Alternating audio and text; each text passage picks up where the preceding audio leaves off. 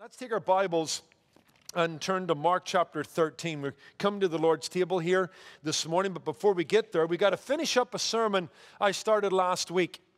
A sermon entitled Future Events. See, the Bible is not just a book of dusty history. The Bible is a message of gleaming hope centered on future events. And uh, Jesus has been outlining for us in Mark 13 how it's all going to come to an end. What are the events that will mark the last days that will bring us to his return? See, Jesus is going to have a second act. He's come the first time, but he's coming a second time, and he's describing this to his disciples here in Mark chapter 13. And uh, let's stand as we read together from verse 24 to 37. If you were with me last week, we covered the setting and the signs. But now we're looking at the second coming and the summons. Mark chapter 13, verse 24. Jesus is speaking. But in those days, after that tribulation, the sun will be darkened, and the moon will not give its light. The stars of heaven will fall, and the powers of heaven will be shaken. Then they will see the Son of Man coming in the clouds with great power and glory. And then he will send his angels and gather together his elect from the four winds, from the tip of earth to the tip of heaven. That's how that could be literally translated. Verse 28. Now, learn from this parable from the fig tree. When its branch has already become tender and put forth leaves, you know the summer is near. So you also, when you see these things happening, know that it is near at the door. Assuredly, I say to you, this generation will not mean by no means pass away till all these things take place. Heaven and earth will pass away, but my words by no means will pass away. But of that day and hour, no one knows, not even the angels of heaven nor the Son. Let me pause there. I thought Jesus knew everything. How doesn't he know when he's not coming back? Well, remember, he's speaking here in his incarnated state he has limited the use of his prerog- divine prerogatives. There are some things that Jesus didn't know as a man. He grows in knowledge according to Luke 2. And at this stage, he doesn't know what the date is that the Father has set for his return. Now, I believe he knows now, but not then. And that's why he's saying, guys, the angels don't know, and I don't know. Verse 32 But the Father knows.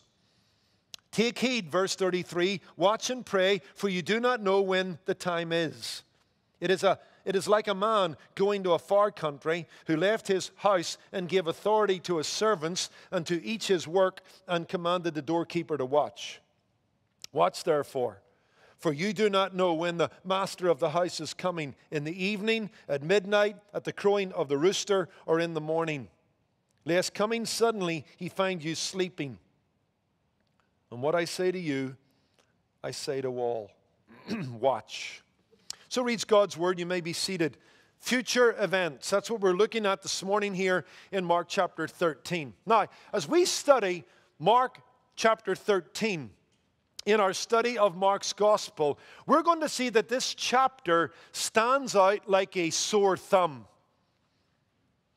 I say that because when you compare Mark 13 with the rest of the gospel, it's rather striking and it, it stands out like a sore thumb because this is a long sermon directed to a particular issue and it was given in one single day.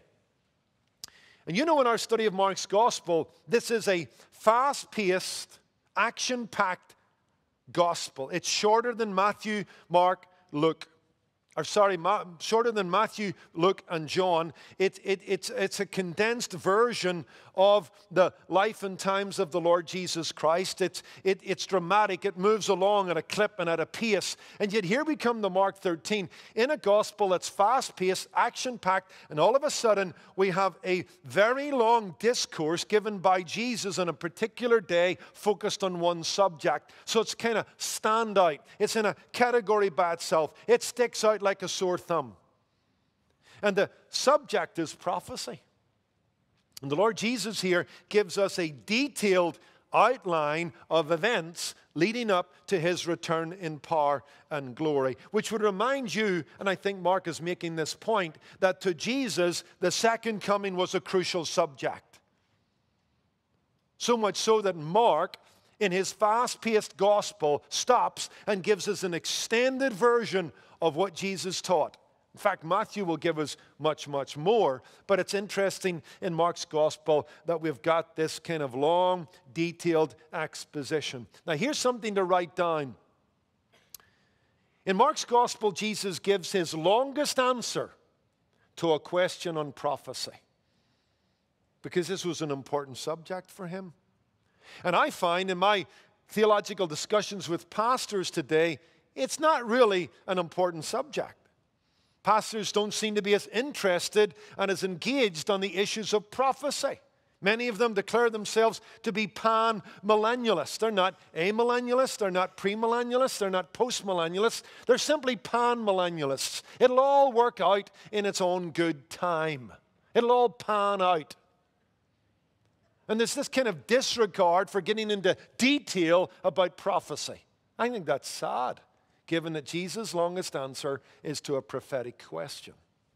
And Christians in general, young Christians and young people in particular in this generation, don't seem to be as interested in the prophetic scriptures as a former generation. And I think, again, that's sad. I'm not encouraging, uh, you know, a, a, a Christianity that has our heads stuck in the clouds we need to be concerned about what's happening in inner cities and be concerned about social justice and politics and life and the hurting and the disadvantaged. I get all of that, but that should never come to the exclusion of an interest in prophecy, end times, and the life to come. In fact, it's the end times that should bring about a new beginning of evangelism and love and endeavor and service on our behalf any given day of the week. In fact, it was C.S. Lewis who said, Those who did much in this world were those who thought much about the next world. So it's just interesting that Jesus gives his longest answer to a question on prophecy, underscoring the importance of prophecy in Jesus' mind. It seems to me if I love Jesus and claim to be a follower of Jesus and a disciple of the Master, prophecy is a subject that should interest me. So let's come back to Mark 13. And if you were with me last time, and we're not going to reheat this dinner, um, we covered the setting and we covered the signs. We covered the setting and we covered the signs, verses 1 through 4, and then verses 5 through 23. I want to pick up at verse 24 and what I call the second coming. This is the third thought, the second coming. Because following this grave time of great tribulation, Jesus will return. Jesus wants us to know that his, his ascension into heaven was not the finale, it was a prelude to the finale. There is a second act. Remember what the angel said to the disciples? This same Jesus who you saw being received into heaven will someday return from heaven in a similar manner. There's going to be a second act. Jesus is going to come back uh, again. There are three parts to your Bible, right? The Old Testament, He is coming. The New Testament in the Gospels, He has come. The book of Acts, the epistles, and the Revelation, He is coming again. That's your Bible in three great parts. He is coming, He has come, but He's coming again. A second act. There's going to be a finale, and Jesus tells us about it here in verse 24. After that time of great tribulation, when at the beginning of that time you'll have the birth pangs, you'll have those signs that will be repeated and become more and more as the delivery of a new age comes about. Wars, rumors of wars, persecution, deception, false Christs. Then you have the beginning signs that will mushroom into the big sign, where you have the abomination of desolation, you have the appearance of Antichrist, who will declare himself to be God in a rebuilt temple. We made that argument last week. I'm not going back to it. And that's what Jesus says. After these days just described, that time of tribulation, the sun will be darkened and the moon will not give its light. The sun, the stars of heaven will fall and the powers in the heavens will be shaken. Then they shall see the Son of Man coming in power and glory. Amen. We agree with John, even so come, Lord Jesus. This is the second coming when, when human history ends at Jesus' feet. You think about that. Human history will end at Jesus' feet. That's why you should begin every day of your own personal history at Jesus' feet, because it's all going to end under His Lordship. So you better be living under His Lordship and following His ways and His commands. Now, I'm not going to spent a lot of time on this. We've covered this in other sermons, and I want to get to the practical application of this message, which I believe is always important to the Lord Jesus. But let me note for you several things that will accompany his second coming, the marks of his second coming. And remember, we would make an argument here at Kindred this is in distinction from the rapture.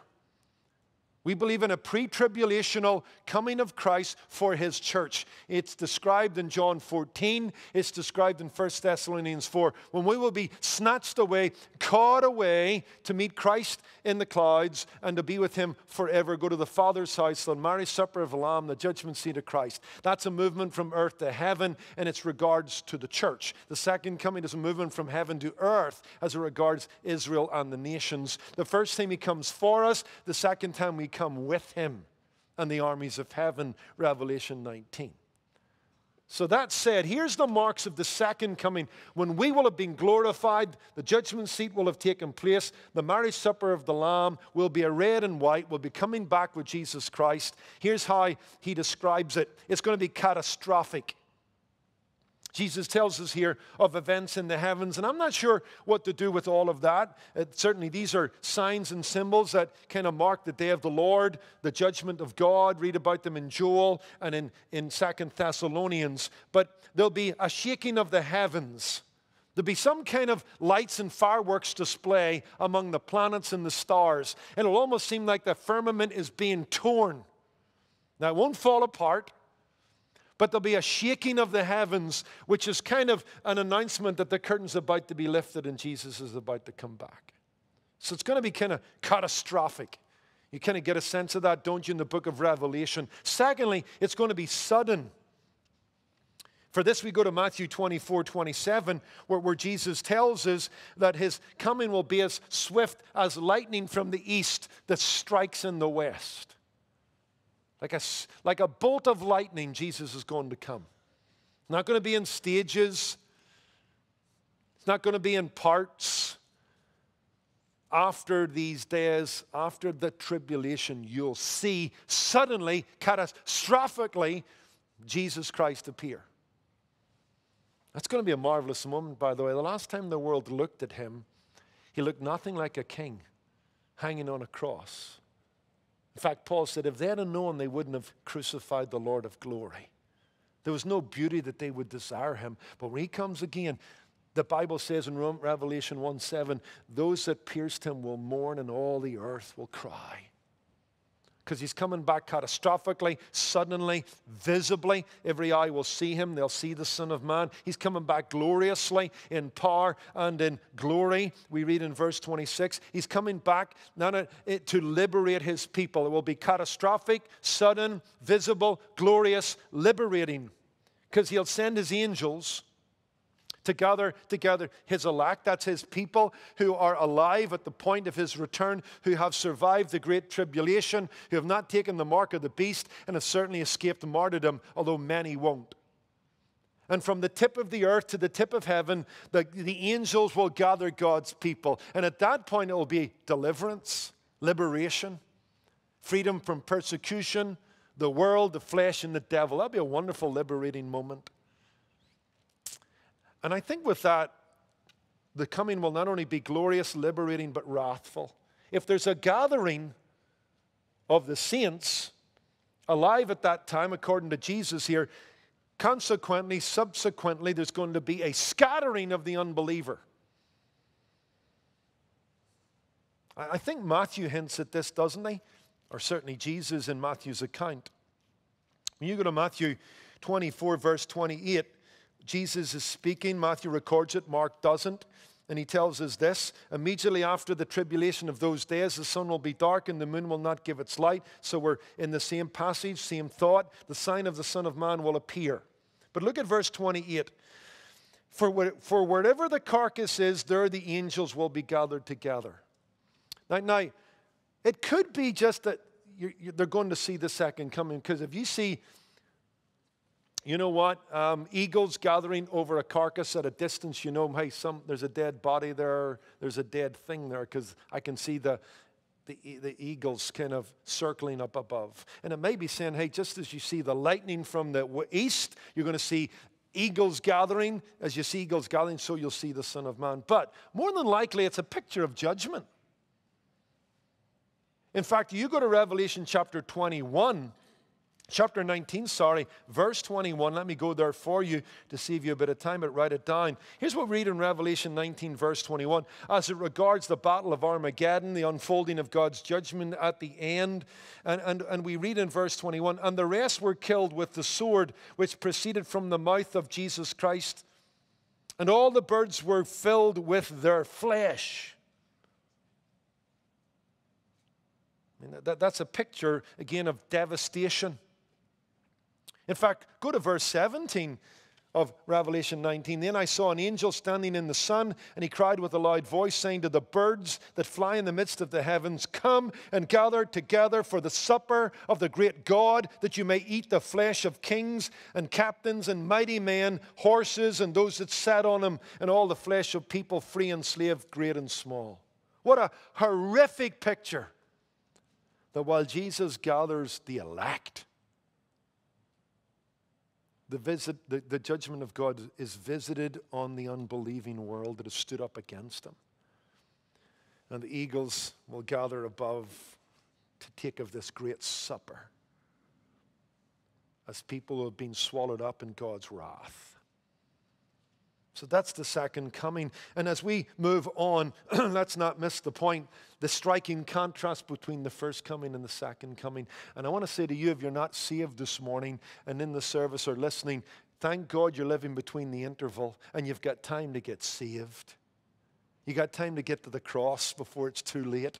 Because you see, the, the, cross is scorched ground. The wrath of God fell upon Jesus Christ in AD 33, just outside the city of Jerusalem, in a place called the skull, known as Golgotha. And there he became sin he who knew no sin, that we might become righteous in him. He, the just, became unjust, and the wrath of God was poured out on him. And in a sense, that scorched ground. The wrath of God fell on Jesus on Calvary. Now, if you know anything about scorched ground, fire can't take hold on scorched ground. That's why our brave firefighters, when in the midst of a hot summer in California, they start backfires. They start fires in the back of and in the front of the fire so that when the fire comes to an area that they have burned deliberately, it can't go any further because there's no vegetation, no trees, no dry bushes for it to grab hold of. That's all been burned. And that's the picture of Calvary. You want to be safe on Judgment Day? You better be standing on Calvary, the scorched ground where God's wrath fell on God's Son. You need to get saved, my friend. You need to put your trust in Jesus Christ and he came the first time to save you. You know, Jesus Christ said, I'm come not to condemn the world, but that the world through me might be saved. He didn't come to rub it in, he came to rub it out. That's what old Vance Havner used to say. And it's my job and this church's job and your father's job and your mother's job to tell you that message. Don't, don't be harsh to them. Don't, don't criticize us for loving you enough to tell you to flee from the wrath of God, the wrath to come. Because when he comes the second time, he won't be so nice. He came the first time and he allowed himself to be judged by man. He'll come the second time and he'll judge man. Pilate will be judged by Christ in the second coming came the first time and they crowned him with thorns. He's coming the second time. He'll be crowned with honor and with glory. He came the first time and he said, Come, come to me, all you that labor and are heavy laden, I'll give you rest. Come to the waters of life. If you don't come, he'll come the second time and say, Depart from me. I never knew you. I gave you a chance. I waited. I was long suffering. I appealed through the conviction of my spirit and showed you me through my people. And you said, No. When he came the first time, he submitted to the rule of human government. The second time, all the kingdoms of this world will become the kingdoms of our God and Savior. My friend, we're living in the interval between the first coming and the second coming. he veiled his glory. But the second time it will be unveiled and it will be a fearful sight. Be ready. For in such an hour as you think not, the Son of Man comes. That's what brought me to Jesus Christ, that verse. I hope it moves you towards the cross and eternal salvation. That's the setting, that's the signs, that's the second coming. Well, we've got to keep moving. The summons.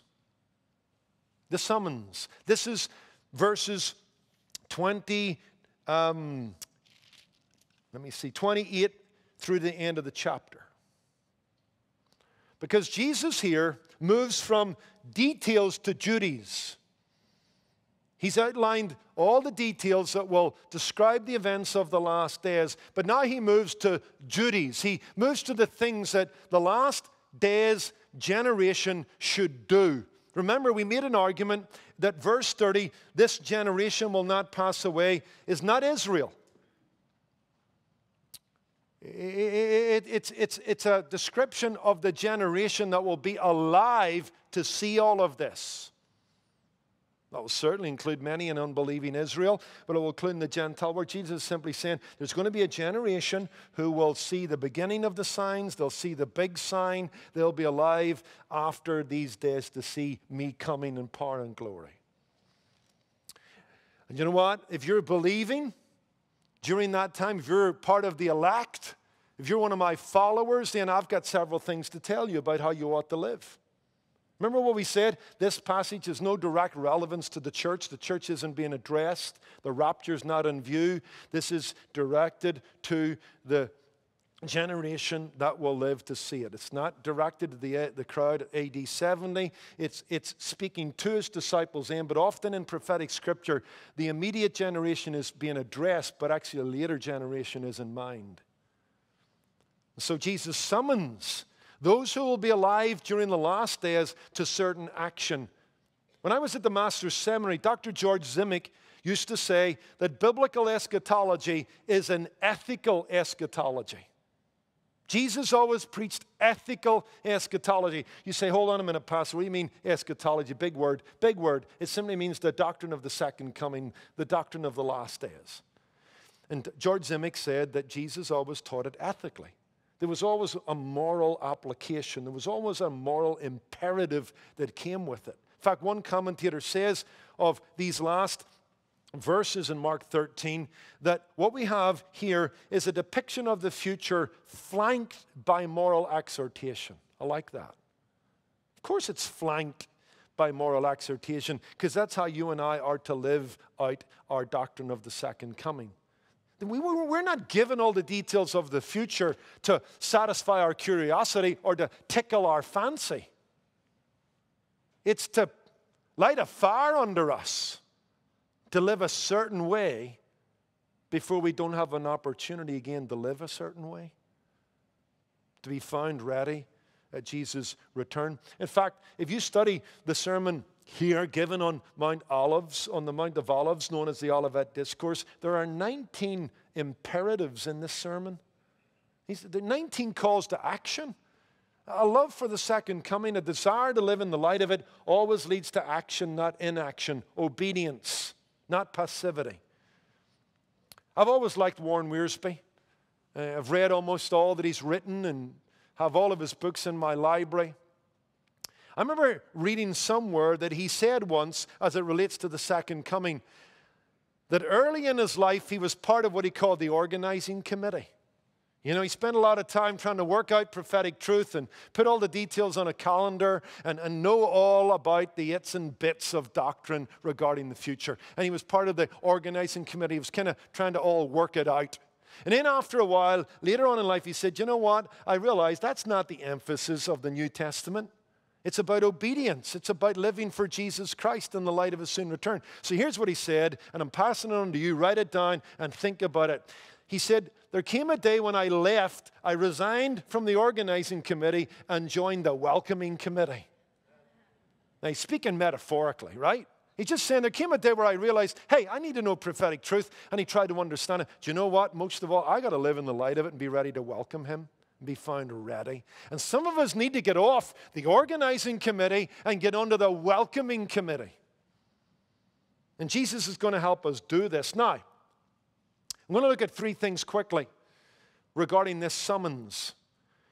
But you might say to me, and rightly so, Pastor, I thought you said last week that the church is not addressed in Mark 13. Well, certainly not directly. You're right. This is addressed to the generation that will be alive when Jesus comes back.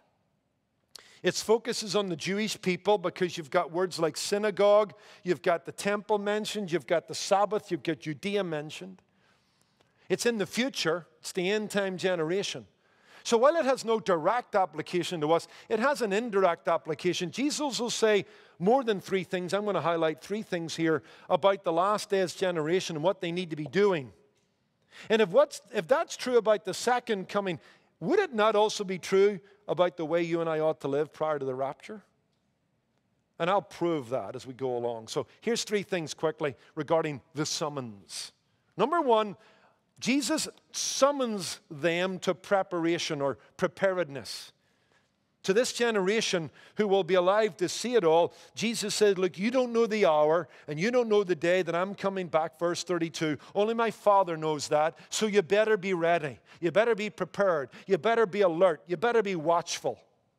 That's how he ends, doesn't he? In verse 36, you need to be, don't be found sleeping.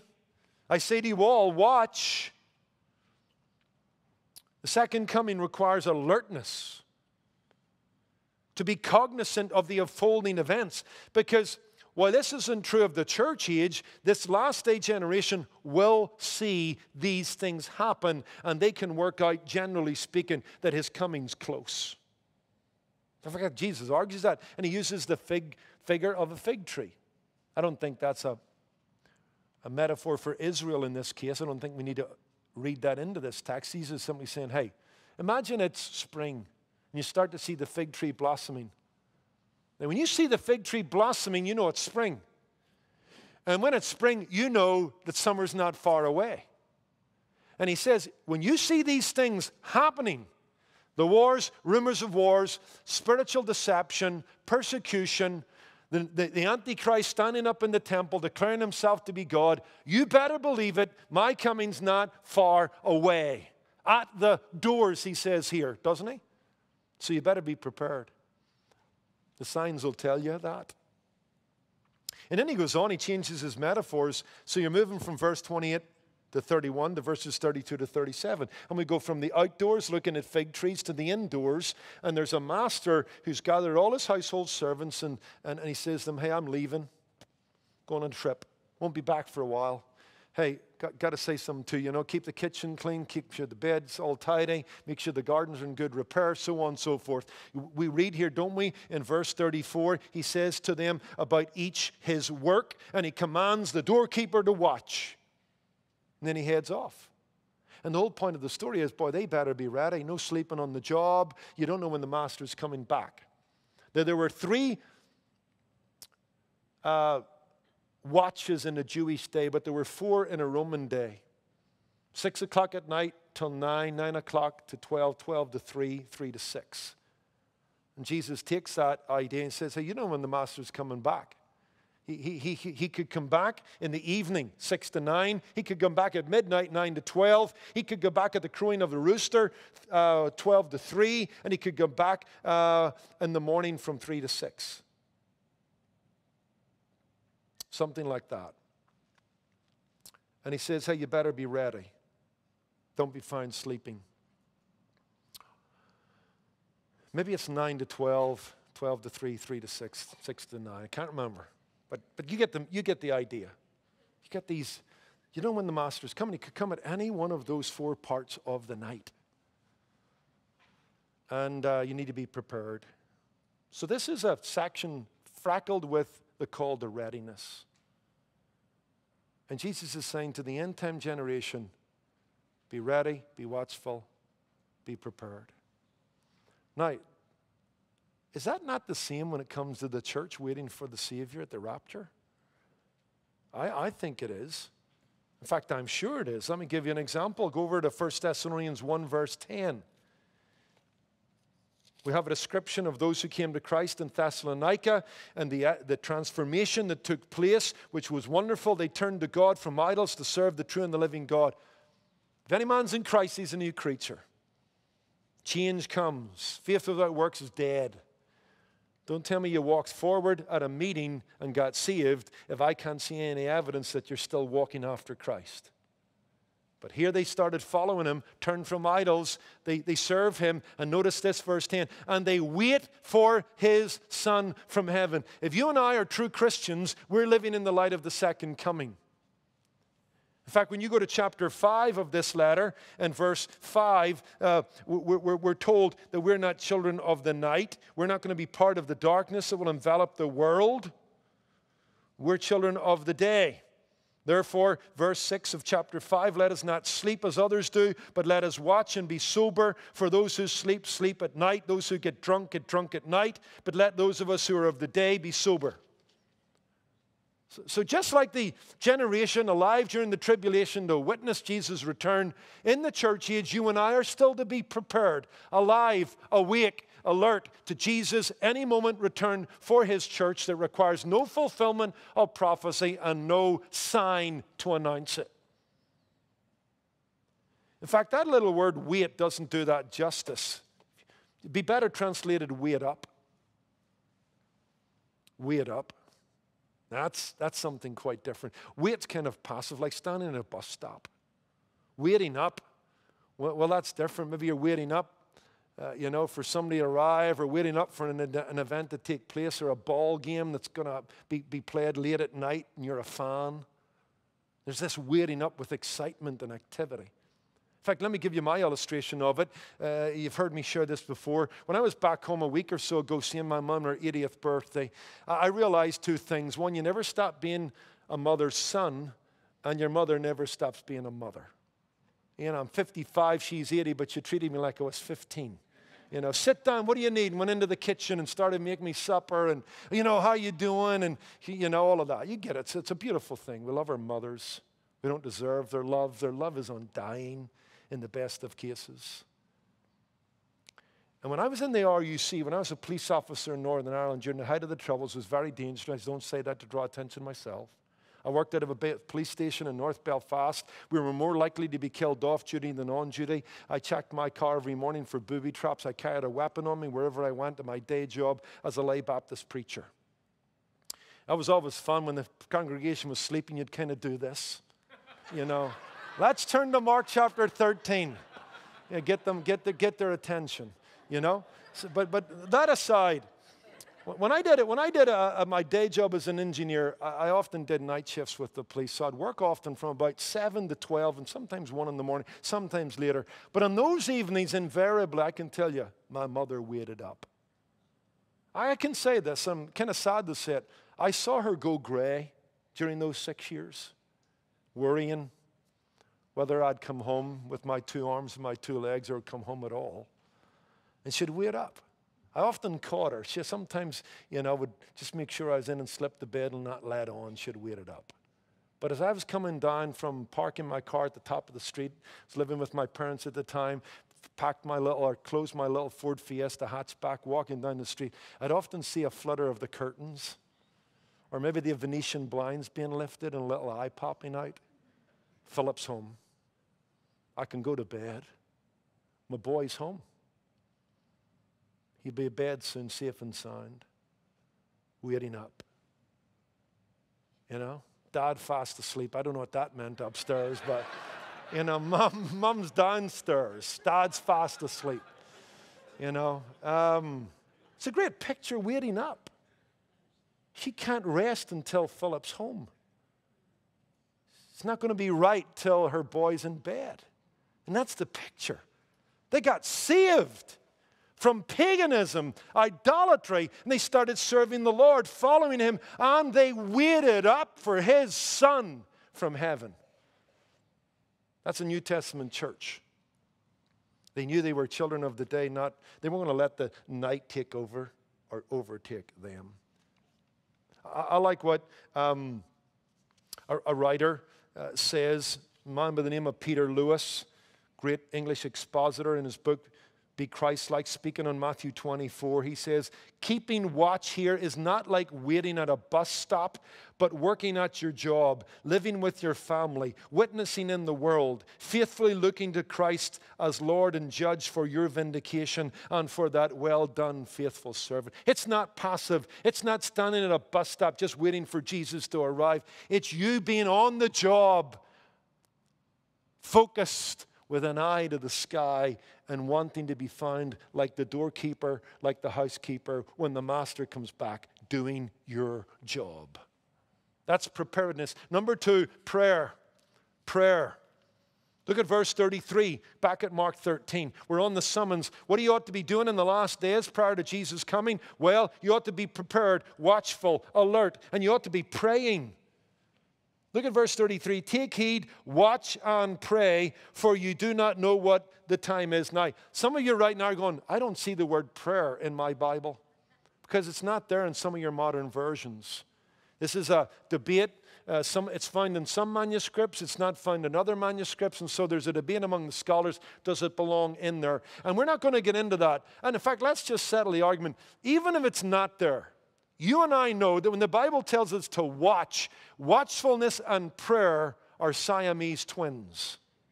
In fact, Mark 14, 38, you'll find this in your Bible, even a modern version, where Jesus says to the sleeping disciples in the Garden of Gethsemane, What? Watch and pray. And so I think it's included. It's in my Bible, but it's not in yours. It's, it's embedded there watchfulness, taking heed, prayerfulness. Our watchfulness leads to prayerfulness. When Jesus comes, the world will be made to kneel and acknowledge that He is Lord, but the believing remnant at that moment ought to be found on their knees in prayerful reliance. Now, what will they be praying? What would you pray in the last days? Remember, I don't think we're being addressed here. So, what will the tribulation saints be praying? We're not told. But I would have a guess. Would you agree with me that the Lord's Prayer could be a good prayer for them? Because I was thinking about this. If you're a tribulation saint, and you haven't submitted to the Antichrist, you haven't taken the mark of the beast. We're told in the book of Revelation if you don't have that mark, whatever that mark is, you can't buy and you can't sell. That's pretty tough when they refuse your, your, you at the supermarket. It would seem to me you'd be praying, Lord, give us this day our daily bread. And if you live in a world at that time that's dominated by the Antichrist, the false prophet, and the false prophets and messiahs that Jesus talks about, and the strong delusion that God's going to send, it's a day of dynamic, dy- uh, demonic domination. I'll tell you another thing you'll pray. Jesus taught us deliver us from the evil or the evil one. And if you live in a world where you've lived long enough to see the abomination of desolation, an antichrist rising up in the temple, according to 1 Thessalonians 2, verse 4, a rebuilt temple, and declaring himself to be God and calling the world to worship him. I'll tell you another thing you'll pray Your kingdom come, and your will be done on earth as it is in heaven. Come in power and glory for yours is the power and the glory. You'll want to see an end to man's mismanagement. You'll want to see Jesus Christ crush the Antichrist. If you're a tribulation saint, you'll be praying, Give us this day our daily bread. You'll be praying, Deliver us from evil. You'll be praying, Your kingdom come. If you're a tribulation saint, you'll be praying like crazy. Prepared, prayerful. Now, I want to ask you a question Is that not the same in the church age? Ought we not to be praying? Do we not want to be found on our knees in prayerful reliance and dependence upon God if Jesus should call us home and catch us up in the air? I think so. In 1 Peter 4, verse 7, 1 Peter 4, verse 7, you'll read about this call to prayer in the light of Jesus' return. Let me go there for you. But the end of all things is at hand. Therefore, be serious and watchful in your prayers be watchful in your prayers. There's another reason to see. If it's not there explicitly, it's there implicitly. Watch and pray. And above all, have a sincere love for one another and cover one another's sins by love. Be hospitable and don't grumble. What's the second, the last verse in the Bible? Okay, I'll help you. Revelation 22 20. What is it? It's a prayer. Who prayed it? John. What did he pray? Even so come Lord Jesus. I like to pray that. I'm tired. I'm tired of fighting with my sin nature. I'm tired of seeing the glory of Jesus Christ be dragged through the mud in the media in an unbelieving world. I'm tired of God's people being persecuted and marginalized. I'm just tired of that. I'm tired of, of, of, of, of truth on the scaffold and evil on the throne. I'm ready for Jesus to come and, and do some sorting out. Even so, come, Lord Jesus. And let me say this in closing. Know time's gone. We've got the Lord's table. But, but I have often thought about prayer as an act of reverence.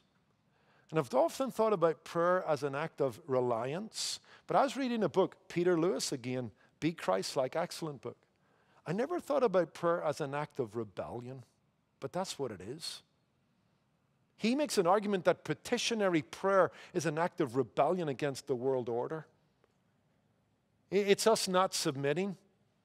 It's us not accepting the abnormal as normal. It's us not accepting man's mismanagement.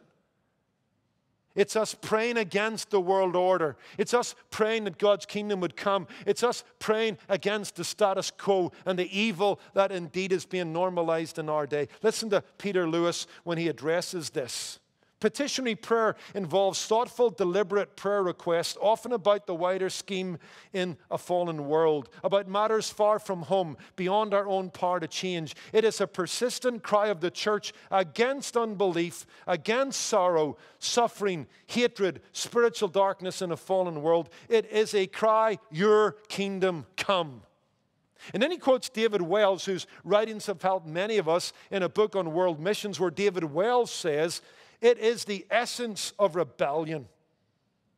Rebellion against the world in its fallenness, the absolute and undying refusal to accept as normal what is pervasively abnormal. You want to thumb your nose at the world? Get on your knees and pray. Do some subversive action in prayer, praying that indeed God will vindicate himself and his people too often we use, as John Piper says, prayer as a domestic intercom. I don't have one in my home, but I have a friend who's got one of those intercoms in every room in his house. Kind of cool little thing, you know? You can hit a hit a button, tell your kids, hey, get down here. You've got five seconds or you're dead. you know? So, hey, it's a good thing. Domestic intercom. Domestic intercom. But he says that's not what prayer really ought to be. Now, we use it that way. Hey, Lord, I need this, I need that. Could you give me another pillow in the living room? I, I, I'm, I need to be made comfortable, Lord. He says, No, prayer's a walkie talkie, a wartime walkie talkie, where we call for God's power to be unleashed in the world for a fight back against sin and evil. And that's what, that's what David Wells is saying. That's what Peter Lewis is saying. I, I love that. Think about that. Prayer is not just an act of reverence, it's not just an act of reliance, it's an act of rebellion. And the church is praying in an act of rebellion against a world order set up against God and His glory, and Jesus Christ is going to topple it. Even so, come, Lord Jesus. Last thought, way out of time. Preparedness, prayer, finally, proclamation. Proclamation. Now, this, Mark 13, let's go to verse 10 of Mark 13. This is last days living.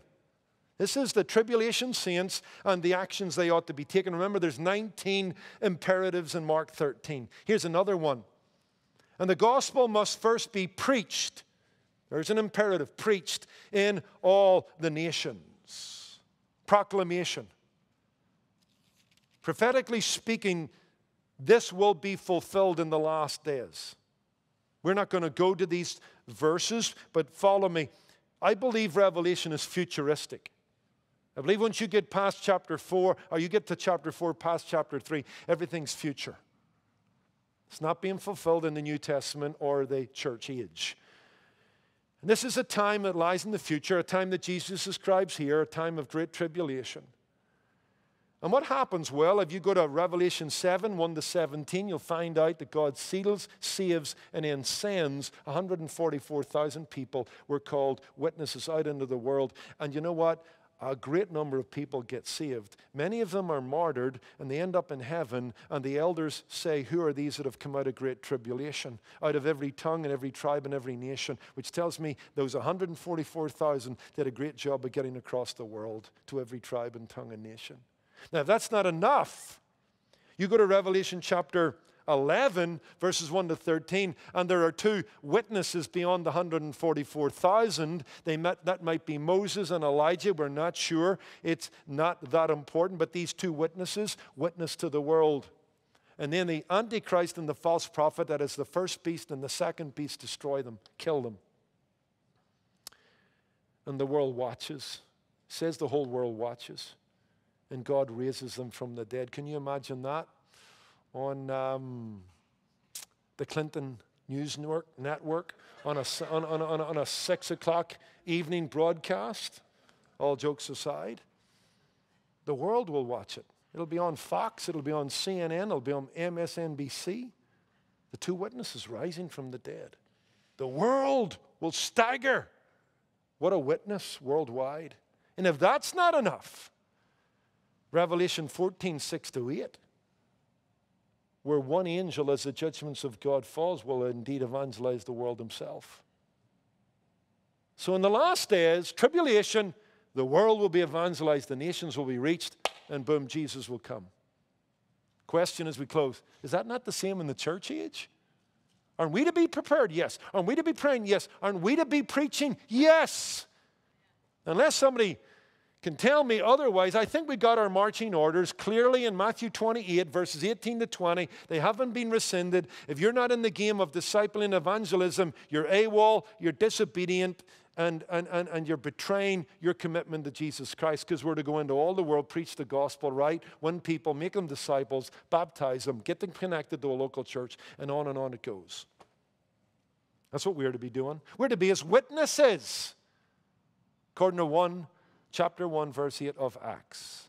So, what's true of the last generation is true of the, every generation within the church age. That's, our challenge. Be preaching, be proclaiming. Are you sharing the gospel? When's the last time you actually shared the gospel cogently, clearly, and convincingly to someone? You got to be doing that. Because you see, we're in the interval. He came the first time to save, he comes the second time to judge. We've only got so much time to win them.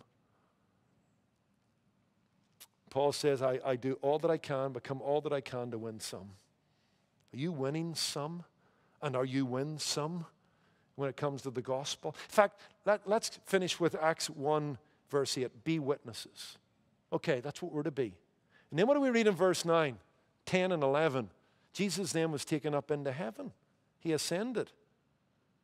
And we read that the disciples were like standing there, you know, bug eyed. And that the angel says, Hey, guys, what are you doing? Why stand you gazing up into the heavens? This same Jesus that was received into the heavens will come again in a similar manner, which means physically, visibly, and then in power and glory, cataclysmically, judgmentally, all of that that we outlined a few minutes ago. Hey guys, the prophetic conference is over. Get out onto the streets and now start evangelizing.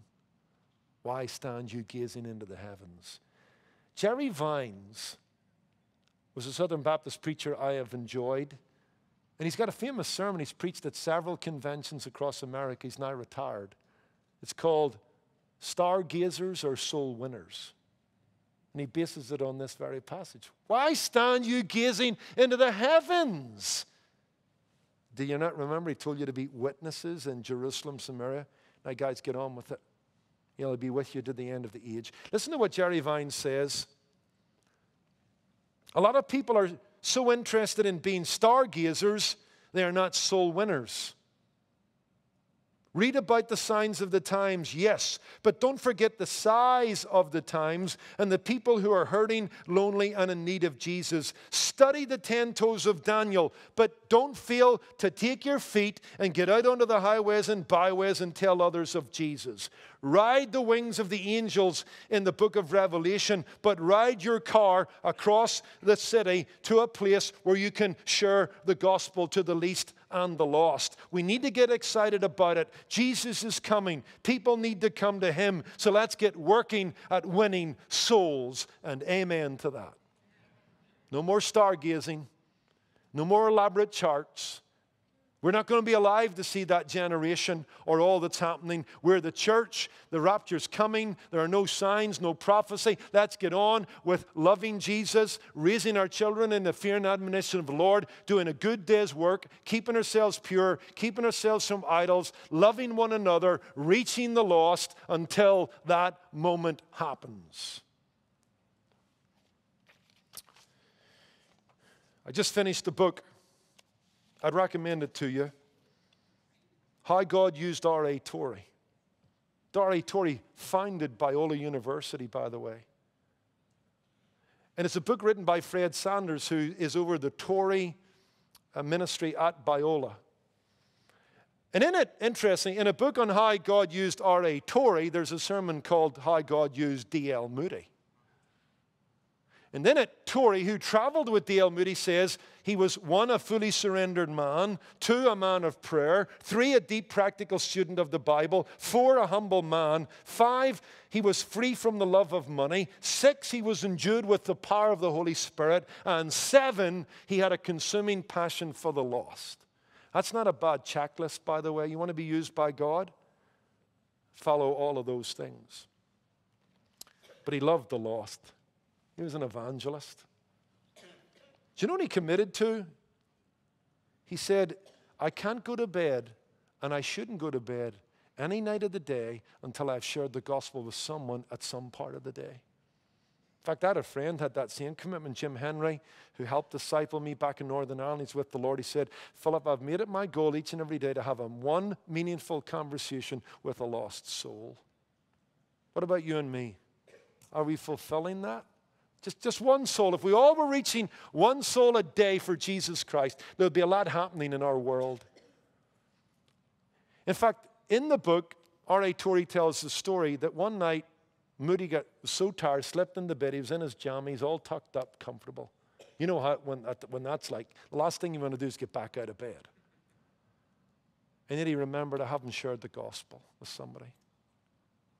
And he actually got up, put his clothes on, as tired as he was. He went to the doorstep of his home and looked out, and it was raining cats and dogs. And he said, Well, hey, Lord, I, made a good effort. There's nobody going to be out on the street. I'm going back to bed. And then he thought, Oh, I can't. And he opened his door and he listened, and he didn't hear anybody for a while. And then he heard the pitter patter feet of a man coming along the sidewalk under an umbrella. And according to R.A. Torrey, as the man comes by Moody's house, the guy ducks out of his doorway under the umbrella and starts talking to the guy as they walk down the street. And as he's talking, he says at some point in the conversation, he says, My friend, do you have a shelter for the time of storm? It's an old phrase in a hymn that's basically talking about the second coming and the need to get saved. Do you have a, a shelter in the time of storm? Here you are under an umbrella and the rain's coming, but someday God's judgment will rain down. Are you saved, my friend? And he actually leads them to Christ under the umbrella. And he gets back to the business of sleeping.